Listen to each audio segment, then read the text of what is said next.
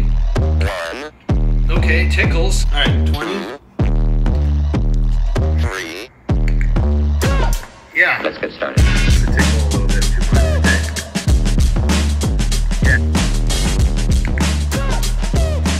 Ready?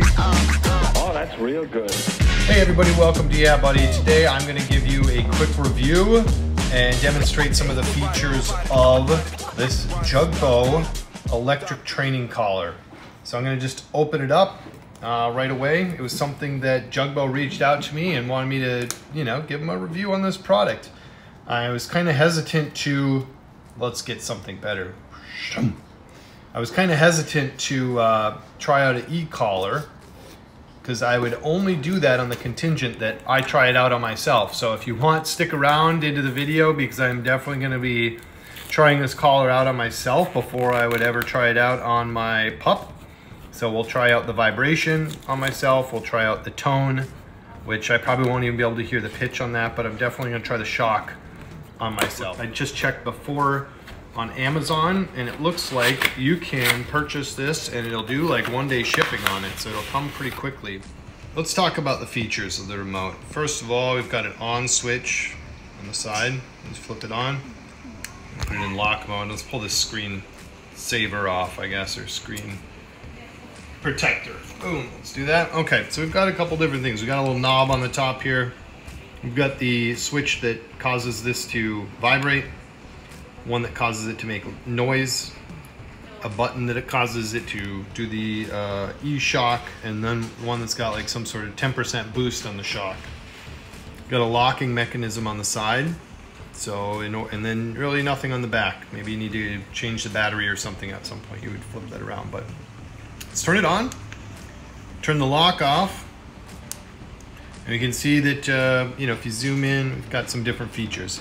This knob on top isn't going to do anything unless you press it down and then you can change the levels of different things it looks like it's on the shock level right now and I think the shock level will go up to goes up to 100 though let's see oh after you get to 50 though it gets like this exclamation point basically saying hey maybe you don't need to go above 50 but clearly Jugbow designed this to go above 50 they just I don't know maybe the uh, some some uh, organization made them stop. Oh, you can flip it backwards from 99 to 1.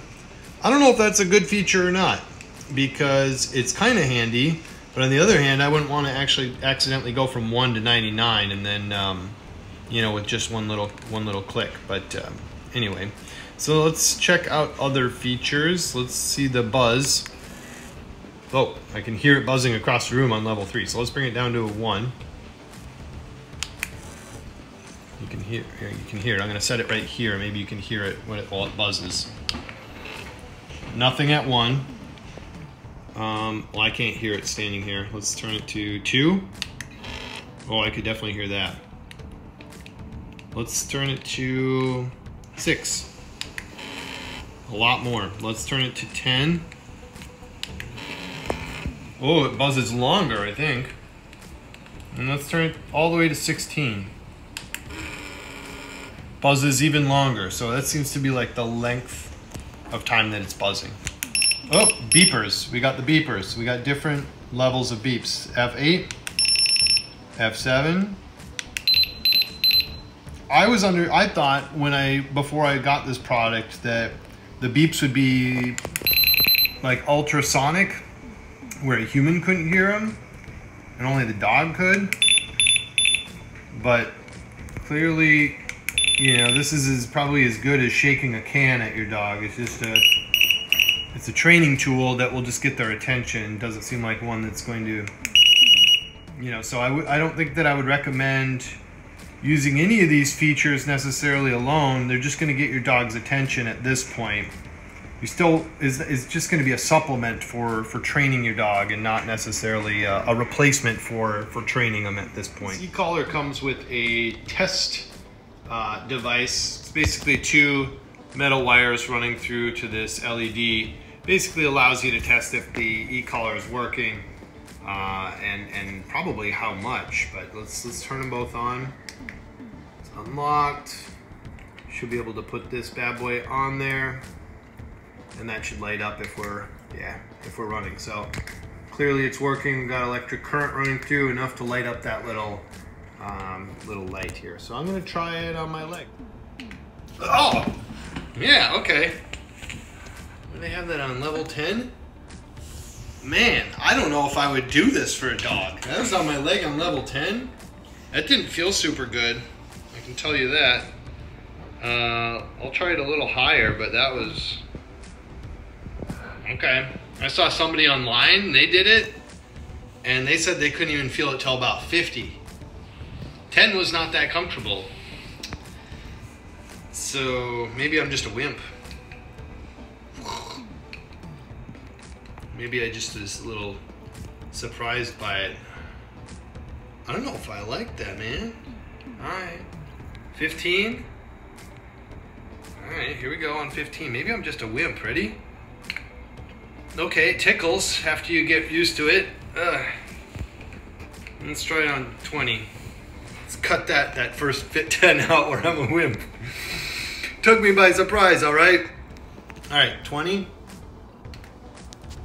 I mean, it certainly tickles. Um, not very, you know, it's a different feeling, is what I would say.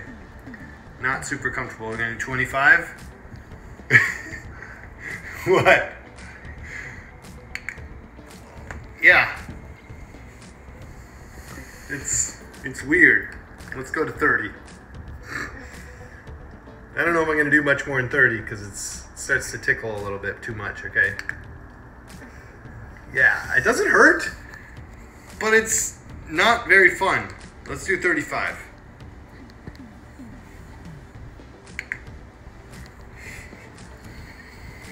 Okay, let's try let's try 40. I'm not going any higher than 40 though, okay?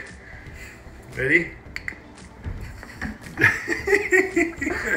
okay, that's about all I'm gonna do. So, uh, you know, for me as a human, a 40 is not, it's not, uh, it doesn't hurt, but it's not comfortable.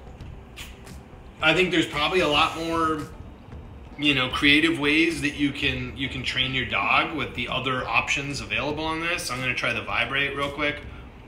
Um,